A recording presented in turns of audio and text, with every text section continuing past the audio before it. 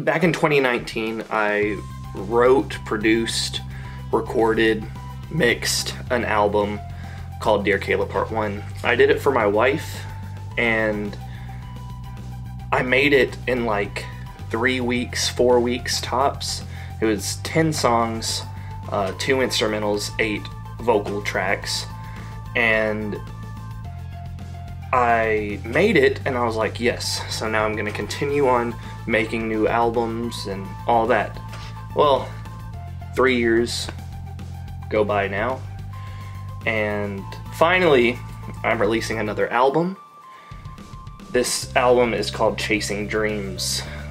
Um, there are some older songs on this album that I re edited uh, some songs that I wrote back in 2019, early 2020, that I didn't think were good enough at the time. Uh, ones that I kind of thought would never see the light of day. I'm glad they are, but uh, it, it was just a very big mental process for for a while. Um, it was just the struggle of, you know, is it going to be good enough? Is it good enough? Should I release it? Should I not release it? Um, but throughout the last three years, I have done a couple singles, um, just a few of them, including Palindrome for my daughter Kyrie, and then Undercover and My Pam or the wedding song.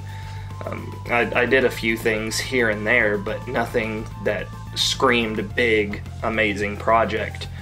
But I'm hoping that this, Chasing Dreams, will be exactly that. I hope that it will be something that people will continuously listen to.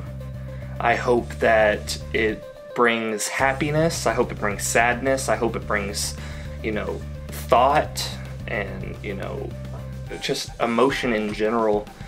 Uh, I hope there's at least one or two songs here that you'll feel for, that you'll continuously listen to, but I'm hoping really it's the whole album that you can intake and love.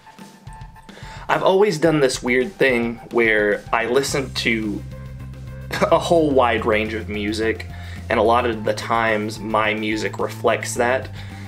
There's, you know, 80s music that I listen to, rap, hip hop, uh, country, uh, alternative rock, rock, like there, there's really so many genres that I listen to. If I like the song, I'm gonna continuously play it or I'm gonna add it to my playlist, whether whatever genre it is. And I want my music to reflect my music tastes as well.